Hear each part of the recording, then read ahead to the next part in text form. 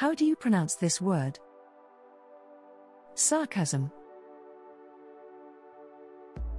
Sarcasm. Sarcasm is a noun, which means the use of irony to mock or convey contempt. Sarcasm. Sarcasm. An example sentence is She didn't like the note of sarcasm in his voice. Sarcasm. Sarcasm. Sarcasm. If you like this video, please subscribe to our channel for more useful content.